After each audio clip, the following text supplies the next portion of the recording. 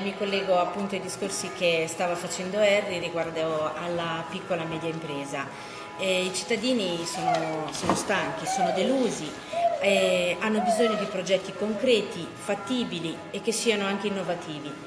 Eh, noi abbiamo insieme ai cittadini, sapete bene che il Movimento 5 Stelle lavora, e abbiamo delle idee che comunque una è stata chiamata PIGS, che significa piccole imprese, grandi successi, dove potete notare che ci sono i risparmi del Movimento 5 Stelle che ha eh, praticamente eh, si è tolta parte dello stipendio per creare questo fondo per le piccole e medie imprese. In questi mesi eh, abbiamo girato nella provincia dove abbiamo parlato con numerosi imprenditori dove si trovano eh, veramente in difficoltà perché la tassazione è arrivata al 62%, è vero che è stata fatta una legge di stabilità del 2015 però è inutile che abbassare di un punto la percentuale eh, non può in questo modo aiutare, importante fare i tagli della politica come diceva Harry e anzi colgo l'occasione di chiedere comunque a tutti i candidati anche degli altri partiti di, di sottoscrivere magari o comunque di, eh, di partecipare anche loro a, come abbiamo fatto noi, alla dichiarazione di intenti eh, dove praticamente anche loro rinunciano a parte dello stipendio per aiutare magari la piccola e media impresa o il welfare. Eh, un'altra cosa che viene spesso detta in questi ultimi eh, periodi di campagna elettorale è di incentivare il turismo. E anche questo i cittadini vogliono dei, delle proposte comunque concrete.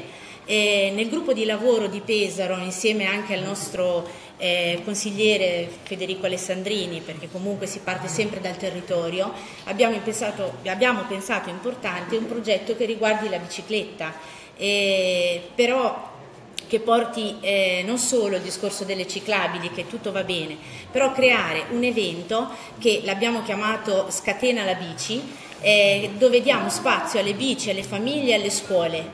Scatena la bici propone la chiusura temporanea di alcune strade per dedicarle eh, solo alla bici e viene suddivisa in tre fasi, tipo mm, magari la chiusura della Monte Labattese oppure la strada panoramica o, o cercare di anche incentivare il turismo verso l'entroterra, magari eh, la fase 3 che appunto parla del Monte Nerone, Urbino, la Montefeltro e, e questo è un modo di fare turismo ecosostenibile che pensa al bene psicofisico eh, delle persone e anche in voglia um, anche dall'estero perché riteniamo importante pubblicizzare questo evento anche fuori della nostra città e della provincia e magari poi venga diramato in tutta la regione.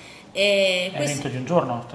Eh, allora no, noi qui parliamo praticamente abbiamo messo un periodo che va da maggio a settembre, che poi si può decidere magari anche per allungare la stagione, eh, magari farlo per dire nel mese di maggio o di aprile, eh, dove alternando delle strade di Pesaro, per dire può essere la panoramica e anche i ciclisti, che ce ne sono tantissimi, di eh, poter fare questo sport in sicurezza e tranquillità, perché molte volte no, poi abbiamo visto, lo leggiamo da anche voi. Anche la Montelabattese, dici, potrebbe essere una delle strade da Una delle strade del Montelabattese perché andiamo anche verso l'entroterra, cioè è importante incentivare il turismo che vada anche verso il territorio dell'interno. E la fase 3, dicevo, è il Monte Nerone, Urbino, Montefeltro, quelle zone eh, bellissime. Da dove... Beh, ma la domenica mattina eh, nel progetto. Ah, eh, ecco, domenica mattina dalle 8 a mezzogiorno. Sì, sì, stavo finendo di dire. Un evento, insomma. È un, evento, un evento, cioè non è una cosa che viene, è un evento poi comunque. Un evento che si ripete tutte le domeniche da maggio a settembre, no, l'idea. No, mm, cioè bisogna magari per dire potrebbe essere il mese di maggio, ah, okay. in modo per allungare la stagione, sì. Poi comunque vi rilascio, vi lascio il file così lo vedete. Sì. Franci, non facciamo come l'altro giorno che hanno asfaltato la, la statale alle 9 di mattina mentre io andavo a lavoro. No, no, no, eh, poi parliamo della domenica mattina dalle 8 a mezzogiorno. Questo è un modo ah, anche per... il discorso della domenica. No, no, no, no.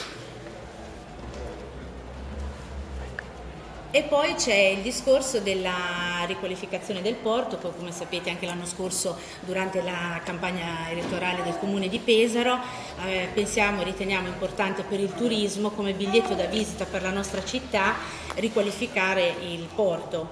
Eh, c'è un mondo che gira intorno al porto dai pescatori, da chi ci lavora e comunque in questo modo anche ristoranti, albergatori, eh, deve essere un biglietto da visita, per punto cioè, la nostra città è una città di mare quindi è importante anche il porto eh, riqualificare.